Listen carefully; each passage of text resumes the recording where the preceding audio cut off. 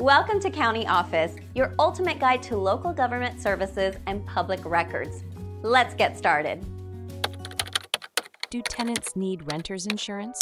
Renter's insurance is not mandated by state or federal law, but landlords have the legal right to require their tenants to have it as a condition of the lease agreement.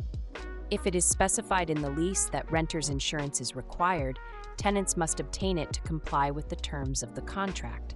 Failure to do so can result in eviction. Protection for personal belongings.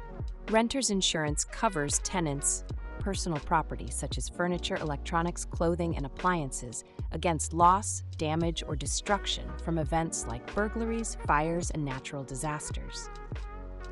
This insurance provides liability protection if someone is injured at the rental home or apartment.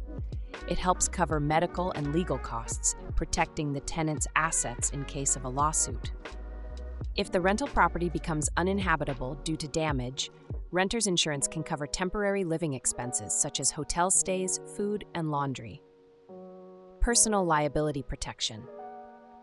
Renter's insurance includes personal liability coverage, which protects tenants if they cause damage or injury to others, including guests visiting their property.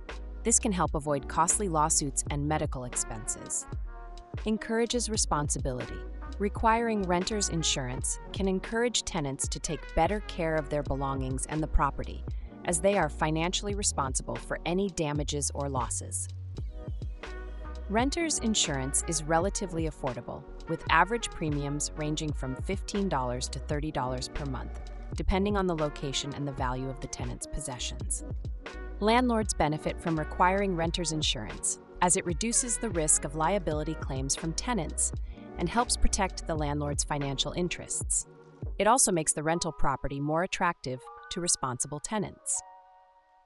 Enforcement Landlords can enforce the requirement by including a mandatory insurance clause in the lease agreement. This clause can specify the minimum level of coverage required.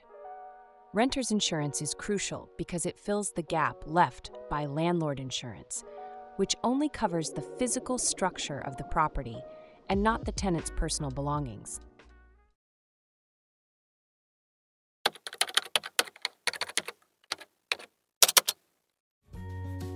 Learn more, check out these links, which you can click in the description below. And feel free to comment your questions. We're here to help. Thanks for tuning in to our video. Please like and subscribe and leave a comment below. See you in the next video.